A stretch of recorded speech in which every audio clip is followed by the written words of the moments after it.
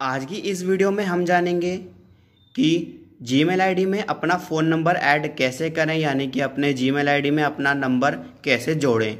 ये बेहद ज़रूरी हो जाता है ताकि बाद में आप उसका पासवर्ड फॉरवर्ड कर सको या आप उसे वापस निकाल सको। इसके लिए आपको चाहिए प्ले स्टोर प्ले स्टोर को ओपन करिए अपने फ़ोन में। आपके फ़ोन में जी मेल आई लॉगिन होगी।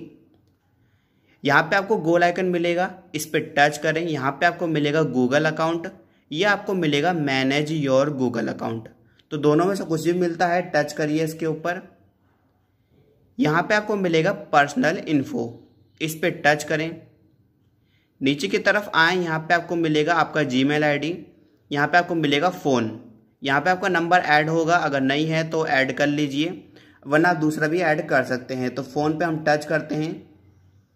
यहाँ पे आपके पास ऐसा पेज आ जाएगा, आपको मिलेगा ऐड नाउ इस पर टच करना है। टच करने के बाद थोड़ा सा वेट करना है, आपको अपना पासवर्ड डालना है। यहाँ पासवर्ड डाल दीजिए, मैं अपना पासवर्ड डाल देता हूँ यहाँ पे। ऐड नाउ पे आपको टच करना है, आपसे आपका पासवर्ड पूछ सकता है, अपना पासवर्ड डाल दीजिए। यहाँ पर डालिए एक मोबाइल नंबर जो आप इसमें जोड़ना चाहते हैं। मैं डाल देता हूँ nine eight seven zero five nine two eight one three next वाले ऑप्शन पे टच करें। यहाँ पे आप कर सकते हैं, आपको यहाँ मिलेगा गेट कोड इस पर टच करें।